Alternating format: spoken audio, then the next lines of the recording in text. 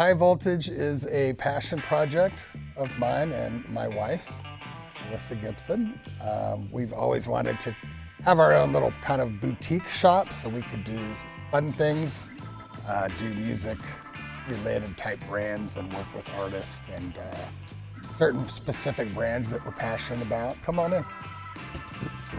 So we have recently been printing all manually. For the last uh, year, we started kind of just doing live events during COVID. We've recently upgraded to uh, an auto, which is pretty exciting for us. Uh, so this is it. Yeah, we broke ground, like I said, in May. It's about 2,000 square feet all in. Obviously lots to do, but uh, we're functioning, we're printing. The really exciting part about all of this and High Voltage Studios is the actual studio.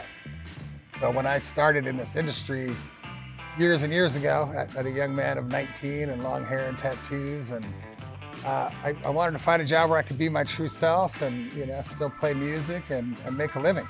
Come check this out. So this is the studio portion of High Voltage Studios. This is the, the control room here.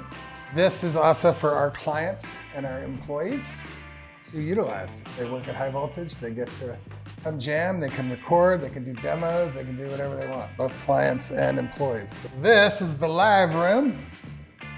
So full back line, whatever you need. Uh, a good assortment of guitars and basses. Uh, lots of amps to choose from. I have six drum kits now, uh, two of which are in here. Bass rig, uh, plenty of snares to choose from, uh, full PA, vocals.